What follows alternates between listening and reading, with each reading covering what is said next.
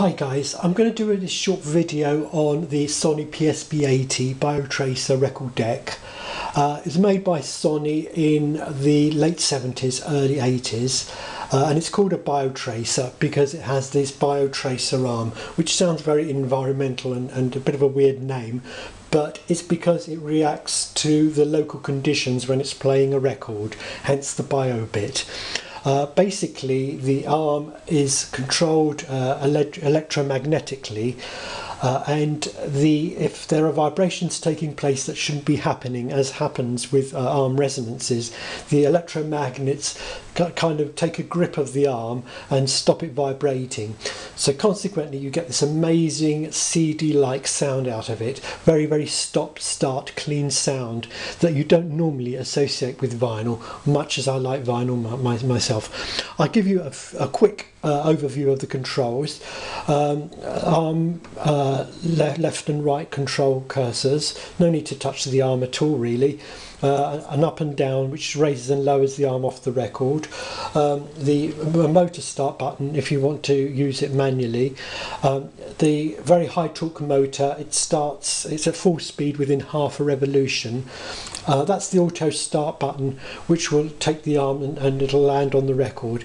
In this case it won't land on the record hopefully uh, because there is no record on the platter uh, and the way it knows that is because in this little post here shines infrared light across the platter and these slots detect uh, whether the light is going through uh, the outer slots, the inner slots or, or, or, or, no, or no slots.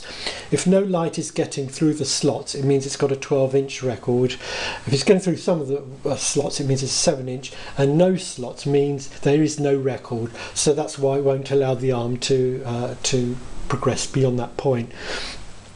The stylus force is applied uh, again electromagnetically. Uh, there is no counterweight as such uh, to, to adjust the way there is with conventional turntables. Um, and uh, the, it's so you just set really whatever weight you want on this dial and that's the weight that will be applied to the arm when it lands on the record. In the case of this cartridge it's 1.5 grams. Um, speed control, a rather cute little nifty uh, stylus cleaner thing which drops the uh, arm down onto this rotating brush. Isn't that just the cutest thing on the planet?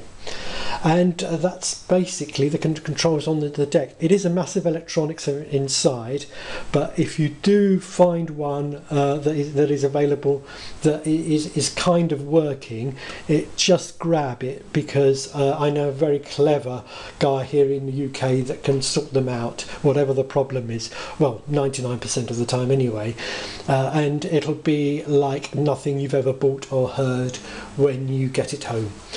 Um, anyway, I'll just put a record on.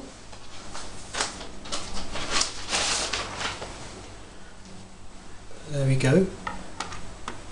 Now, uh, obviously clean the record, but I won't in this case. Uh, but the um, auto start stop button, what, what the arm does is that when it goes back to its rest, it kind of rebalances the arm to zero.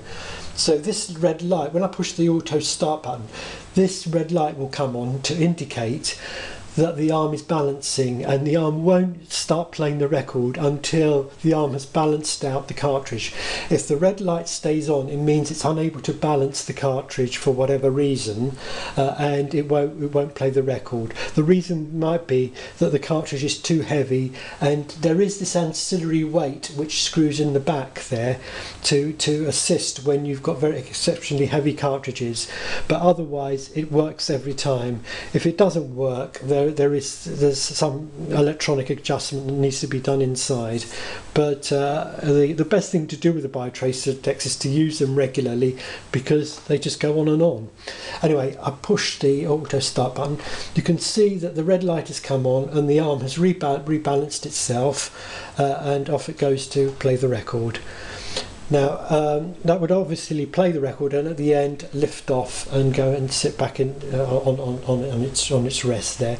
But I'm going to sort of uh, lift the arm off uh, by pressing this button here and it'll go back to the to its rest. Notice the turntable stops, but the arm keeps moving.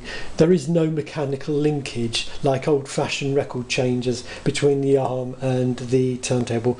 They're two very separate uh, functions and there's no degradation uh, because because the arm is, is automatic or anything like that and that's basically the PSB80. As I said, if you do get the chance to um, uh, get one hold of one of these, or it's slightly simpler but still fantastic Sony PSX75 turntable, which is a biotracer, uh, grab them because they do make an extraordinarily good uh, vinyl player. Anyway, thanks for watching. I hope I haven't bored you too much. Bye now.